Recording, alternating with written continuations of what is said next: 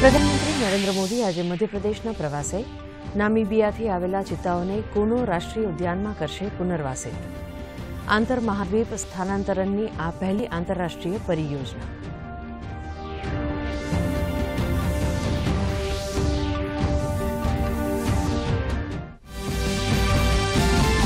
રાષ્ટ્રપતિ દ્રૌપદી મુર્મુ આજે લંડનના પ્રવાસે થશે રવાના.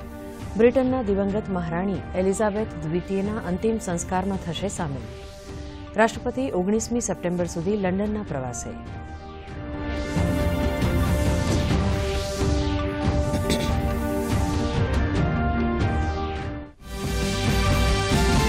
પ્રધાનમંત્રી નરેન્દ્ર મોદી આજે મધ્યપ્રદેશના શોપુરમાં સેલ્ફ હેલ્પ ગ્રુપના સંમેલનમાં રહેશે ઉપસ્થિત.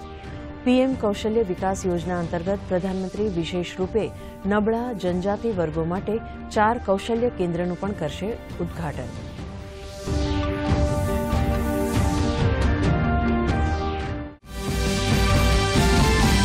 રાષ્ટ્રીય લોજિસ્ટિક્સ નીતિનો કરાવશે શુભારંભ.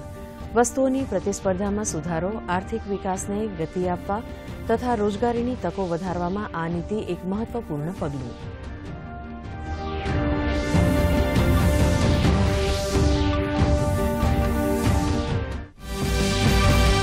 પ્રધાનમંત્રી ઉઝબેકિસ્તાનથી ફર્યા પરત.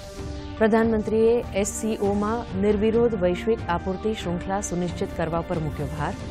ક્ષેત્રીય અને આંતરરાષ્ટ્રીય સલામતી તેમજ અફઘાનિસ્તાનમાં શાંતિ અંગે ભારતનો દ્રષ્ટિકોણ કર્યો રજૂ.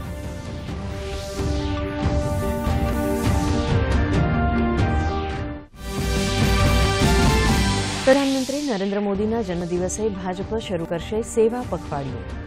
સત્તરમી સપ્ટેમ્બરથી બારમી ઓક્ટોબર સુધી ચાલનારા દેશવ્યાપી વિવિધ કાર્યક્રમોમાં વાવવામાં આવશે દસ લાખ પીપળાના વૃક્ષો. ગુજરાતમાં પણ રક્તદાન મેડિકલ કેમ્પનું આયોજન તેમજ વિવિધ સરકારી યોજનાઓનો જરૂરિયાતમંદ લોકોને આપવામાં આવશે લાભ.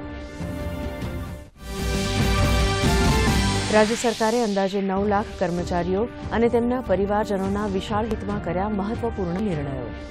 કેન્દ્રના ધોરણે કર્મચારીઓને જીપીએફ અને જૂની પેન્શન યોજનાઓનો અપાશે લાભ. કર્મચારીઓના સાતમા પગારપંચના બાકી ભથ્થા તાત્કાલિક અસરથી કરાશે લાગુ.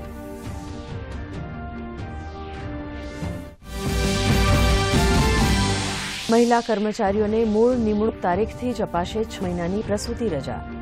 સરકારી કર્મચારીઓના ચાલુ ફરજે અવસાનના કિસ્સામાં નાણાકીય સહાય રૂપિયા આઠ લાખથી વધારીને કરાઈ રૂપિયા ચૌદ લાખ.